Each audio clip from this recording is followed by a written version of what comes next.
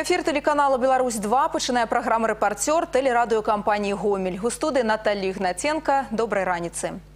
Прадстаўнікі кітайскай кампаніі, якая займаецца здабычай і перапрацоўкай рэдказемельных металаў, напярэдадні наведалі абласны цэнтр. У праграме візіту сустрэча з кіраўніцтвам гомельскага хімічнага завода. Кітайская кампанія валодае правам на распрацоўку адзіных на постсавецкай прасторы радовішчаў ітрыевай і берыльевай груп, якія размешчаны ў Кыргызстане. На гомельскім хімічным заводзе гасцей з Китая цікавіць магчымасць атрымання рэдказямельных металаў з адходаў вытворчасці прадпрыемства. Бізнесмен Спартсмены падчас сустрэчы змаглі атрымаць інфармацыю, якую будуць старанна аналізаваць на працягу бліжэйшых месяцаў. У выніку станоўчага рашэння напрыканцы гэтага года будуць падпісаны пагадненні аб супрацоўніцтве. Практыка прамога дыялогу з жыхарамі рэгіёнаў па хвалючых іх пытаннях працягнецца 15 жніўня.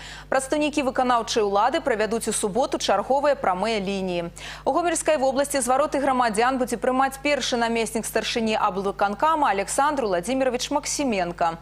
Нумар тэлефона ў гомелі 75 12 37. Час правядзення з 9 до 12 гадзін. У гомельскім гарвыканкаме прамую лінію правядзе першы намеснік старшыні Павел Яўгенавіч Паўлаў. Званкоў ад жыхароў абласнога цэнтра чакаюць па нумары тэлефона 71 09 59. Як і заўсёды па суботах весці тэлефонныя размовы з грамадзянамі будуць у раённых адміністрацыях і райвыканкамах. На Гомельшчыне завяршаецца ўборка збожжавых. Разам з тым палявыя работы на гэтым не скончыліся. Спецыялізаваныя гаспадаркі вядуць нарыхтоўку гародніны. Нягледзячы на не вельмі спрыяльны па кліматычных умовах год, аграры плануюць сабраць ураджай не горш за леташні. Алег Сенцёў пацікавіўся перспектывамі. У камунальным сельскагаспадарчым унітарным прадпрыемстве брылёва гомскага района гароднінай займаецца ўжо некалькі дзесяцігоддзяў. Зараз на палетках гаспадаркі каля 15 культур, кожная з якіх мае да таго ж да 10 гатункаў. Такая разнастайнасць дазваляе атрымліваць ураджай у адкрытым грунце з пачатку лета да сярэдзіны восені. Увогуле выбар культур у значнай ступені залежыць ад патрэб рынку, але некаторыя з іх пачалі вырошчваць яшчэ і па прычыне змянення кліматычных умоў. Размова ў прыватнасці аб тых жа чырвоным перцы і спажавай фасолі, хоць па вялікім рахунку павышэнне сярэдніх тэмператур прыносіць больш праблем, чым плюсаў, але выйсце можна знайсці і тут. В частности, в нашем хозяйстве есть две дождевальные машины кругового движения, э, четыре машины передвижные э, дождевальные, поэтому это нам позволило все-таки, несмотря на эту жару и несмотря на дефицит влаги, получить хороший урожай. В частности, вот сейчас мы закончили уже уборку гороха, и урожай на один центр даже больше, чем по сравнению с прошлым годом. Для того, каб зрабіць вынікі работы больш стабільнымі, Уксуб Брылёва займаецца вырошчваннем гародніны не толькі ў адкрытым грунце, але і ў цяпліцах. Тут першыя ўраджаі атрымліваюць яшчэ ў лютым, апошні ў лістападзе, што дазваляе не толькі забяспечваць патрэбы мясцовага насельніцтва, але і рэалізоўваць прадукцыю ў іншыя рэгіёны. Тым больш, што пры добрай ураджайнасці можна разлічваць на вялікія аб'ёмы. Цяплічная гаспадарка Уксуб Брылёва існуе 30 гадоў. Летась тут з кожнага квадратнага метра атрымалі па 51 кілаграму агуркоў і памідораў. Гэта самы лепшы вынік у гомельскай вобласці. Уласная перапрацоўка Уксуб Брылёва заявілася яшчэ ў 1946 годзе, але сапраўды сучасную вытворчасць, дзе гародніну можна як кансерваваць, так і замарожваць, адкрылі 7 гадоў таму, што, дарэчы, дазволіла замяніць на ўнутраным рынку значную частку імпартнай прадукцыі. Летась, напрыклад, тут замарозілі толькі спажывай фасолі больш 500 тонн. Сёлета кажуць, яе будзе яшчэ больш. Пры гэтым у гаспадарцы не ўтойваюць. Для таго, каб канкурировать з замежнымі вытворцамі, неабходна выкарыстоўваць сучасныя тэхналогіі технологии. Напрямую работаем с многими иностранными фирмами, которые имеют дилерские центры на территории Республики Беларусь. И изучение всех э, новых э, сортов и технологий дает очень хороший результат. Если, скажем, в 1995 году мы производили до 3000 тонн овощей в открытом грунте, то уже в 2014 году мы получили 10 112 э, тонн. Олег Сентеров, Валерий Гапанько, телерадиокомпания «Гомель». Да іншых тэм. Адразу на двух гомельскіх пляжах былі знойдзены артылерыйскія снарады часоў вялікай айчыннай вайны.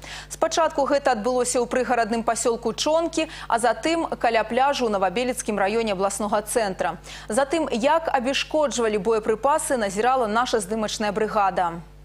На Новобелецкім пляжы пустынна, купанне сёння забаронена. Праўда, ў гэты раз не з-за якасці вады. Як высветлілася, рака ў гэтым месцы таіла іншую небяспеку. Выявілі яе выратавальнікі асвода. Падчас трэніроўкі вадалазы заўважылі на дне прадмет, які па форме нагадваў артылерыйскі снарад. Людзей эвакуіравалі, пра здарэнне паведамілі ў ваенкамат. Задачу сур'ёзна ускладняла месцазнаходжанне боепрыпасу. Каб абясшкодзіць яго з Віцебска прыехала спецыяльная група дэсантнікаў, якія маюць і сапёрную і вадалазную падрыхтоўку. У нас э, работают, есть группа водолазов, это Витебская, Витебская 103-я мобильная бригада. Снаряд времен Великой Отечественной войны, он всегда опасен, потому что он находится в очень э, плохом состоянии. Любое взаимодействие с воздухом или так может привести к взрыву. Пасля некалькіх апусканняў у ваду вадалазы сапёры дасталі артылерыйскі снарад 122 калібра. На дне сожа ён праляжаў больш за 70 гадоў. Узрывальнік знаходзіўся на ўзводзе. А гэта значыць, выбух мог адбыцца ў любы момант. Сапёры кажуць, што ў апошні час сутыкаюцца з падобным рэгулярна. Без фактару надвор'я таксама не абышлося. В этом году в связи с тем, что вот именно река обмелела, вот частые вызовы у нас идут именно в район реки. Часто находят снаряды, значит, на окраине воды, то есть на урезе. Э, Река отступила, э, появились, значит, боеприпасы. Вот, особенно это вот касается Ветковского района и Гомельского района. И в районе пляжей. Э, Народ купается, вода прозрачнее сейчас стала, все видно, глубина небольшая, поэтому часто находят именно в этих местах боеприпасы. Часто выезжаем. Руслан Праляскоўскі, Сергей Нігярэвіч, Ігор Марышченко, тэлерадыёкампанія «Гомель». Зараз у Гомелі вядзецца маштабная работа па добраўпарадкаванні аўтавакзала. Плануецца, што сваё новае аблічча гэты грамадска-значны аб'ект атрымае да дня горада, які традыцыйна праходзіць у абласным цэнтры ў сярэдзіне верасня. Вераніка Варашыліна пацікавілася тэмпамі правядзення рамонтных работ.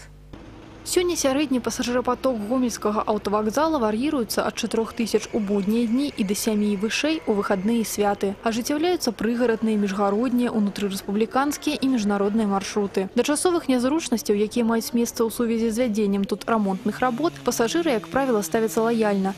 Тых, хто яшчэ не ўсвядоміў усю важнасць такіх пераўтварэнняў, супрацоўнікі аўтавакзала пераканаўча просяць аднесціся да іх з разуменнем. Крыху раней быў абноўлены фасад будынка, што значна ажывіла і палепшыла яго знешні выгляд. Між тым, пасля маштабнага добраўпарадкавання гэты грамадска-значны аб'ект атрымае яшчэ больш сучаснае і шматфункцыянальнае аблічча. Праектам прадугледжана замена ўсяго асфальтавага пакрыцця на пляцоўцы прыбыцця і стаянкі аўтобусаў. Будзе адрамантаваны перон і ўстаноўлены зручныя лаўкі для адпачынку пасажыраў. Дарэчы, будучыя пераўтварэнні не абмінуць увагай патрабаванне безбар'ернага асяроддзя для людзей з абмежаванымі фізічнымі магчымасцямі. Появятся ленты из контрастной плитки, дабы люди со, слабо- со слабым зрением могли ориентироваться спокойно по зонам движения и не допускать определенного травматизма. Также мы производим третий этап модернизации зала ожидания, в котором появятся как торговые ролеты, так и помещения платной справочной службы, дежурной по автовокзалу, дабы придать нашему предприятию сегодня э, красивый современный вид и представлять наши ворота города на самом высоком уровне.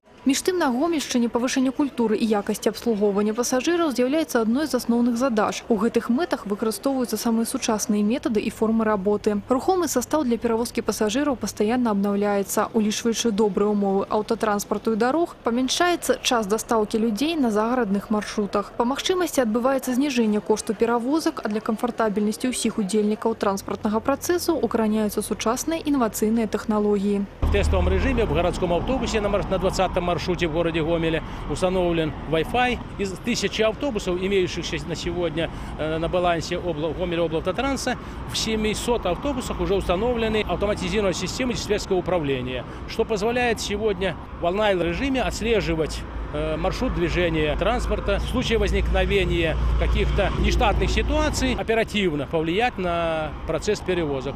Буйныя прадпрыемствы-перавозчыкі гомельскай вобласці для прыцягнення новых і ўтрымання сваіх пастаянных кліентаў імкнуцца максімальна задавальняць іх патрэбы. Да прыкладу, адкрытае акцыянернае таварыства Гомель Абл Аўтатранс праводзіць маніторынг меркавання ў сваіх пасажыраў. У жніўні яны запусцілі новы тэматычны праект грамадскі кантроль накіраваны на прыём падобных прэтэнзій і прапаноў. З умовамі правядзення акцыі можна азнаёміцца на афіцыйным сайце прадпрыемства гомельскага гарадскога або абласнога выканаўчага камітэта, а таксама ў сродках масавай інфармацыі. Вераніка Варашыльна, Александр Александронец, тэлерадыёкампанія Гомель.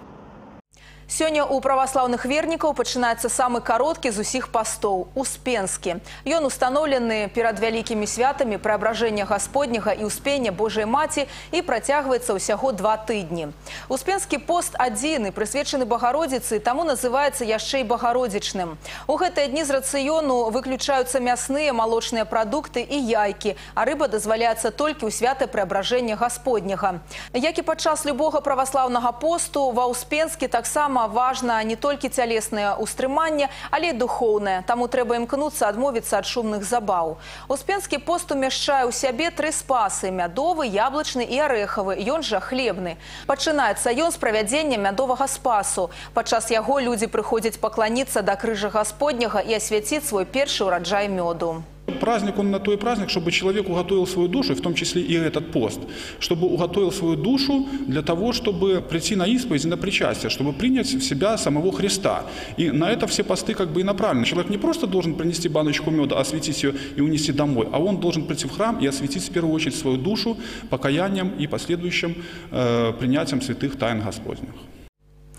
Сёння футбольны клуб Гомель у рамках чэмпіянату Беларусі будзе прымаць лепшы клуб краіны мінулага сезона барысаўскі батэ. Маладой гомельскай камандзе неабходна падтрымка балельшчыка ў гэтым няпростым супрацьстаянні. А таму запрасіць гамельчан на трыбуны гульцы вырашылі асабіста. На вуліцы горада выйшлі паўабаронца Гомеля Яўген Мелеўскі, нападаючы Алексей Цяслюк. Падчас акцыі яны раздавалі запрашэнне на пятнічны матч. Згодна статыстыцы, у апошнія гады наведвальнасць матчаў чэмпіянату краіны падае. Традыцыйна гамельчане актыўна падтрымліваюць сваю каманду. На дамашнія гульні Гомеля прыходзяць балельшчыкаў больш, чым у сярэднім па краіне. Аднак інтарэс зніжаецца. Да таго ж бягучы сезон не лепшы ў гісторыі клуба. Зараз у турнірнай табліцы Гомель займае 12 месца.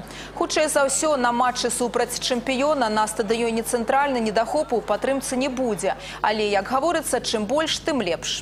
У нас команда молодая, если люди приходят и болеют, мы чувствуем это все, что ну, на поле, как они нас поддерживают, и нам легче и раскрепощеннее более сидеть, ну, действовать на поле. Приходите к нам на футбол, и я думаю, вы не пожалеете. Все будет сильно. І на гэтым ранішні інфармацыйны выпуск тэлерадыёкампаніі Гомель завершаны. Наступны глядзіце сёння на тэлеканале Беларусь 1 у 15.10. Да сустрэчы.